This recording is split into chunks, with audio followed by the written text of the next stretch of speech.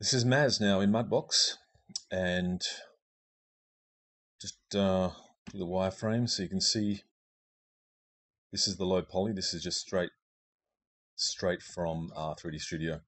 Um, only problem I had originally was on the headphones here I had 16 edges converging into a vertex here which gave me an error. Now it's not too bad if you're sculpting, but for um, texturing, UV mapping, baking maps in Mudbox, that's more of a problem.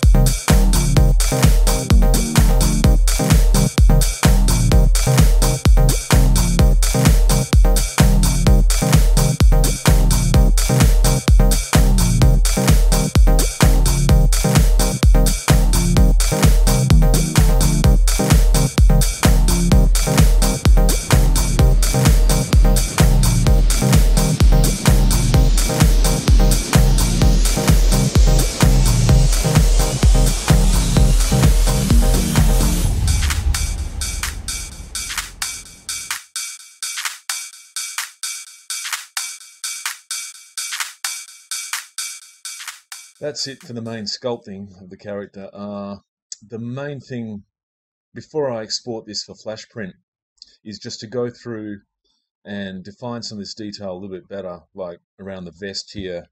Um, I just sculpt out some of these. Uh, the creases on the vest could be a little bit sharper. A lot of this detail is going to get lost in the printing process. Like I put some um, pitting and dents on the goggles and the headphones, and, and this will pretty well get lost. I just don't think they'll pick that up at all. So I can actually get the amplify tool if I want to and just just run that over some of these areas and that'll just deepen those a little bit. Um, in fact, I can do that over the whole model really. Uh, and some of the detailing suffered a little bit around the waist here because I didn't have enough polys um, like here. So I've really got to work on that a little bit before I export it. So, so I'll just make the best of that I can. I just could have worked a bit better with the uh, the distribution of the polys. Like for the hand, it's it's fine. I had quite a few there, so the hand turned out pretty well. Um, so I'll just do that. Just go over that bit. Sculpt those out. And uh,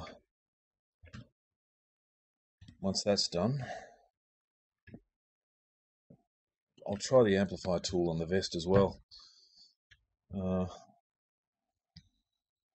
sort of, yeah, it helps a bit, a bit too much. But, and I can just go over some of the fabric a little bit more, refine that, pick up some of these, pick up some of these high points a little bit. Um, so when that's done, I'll just go select model,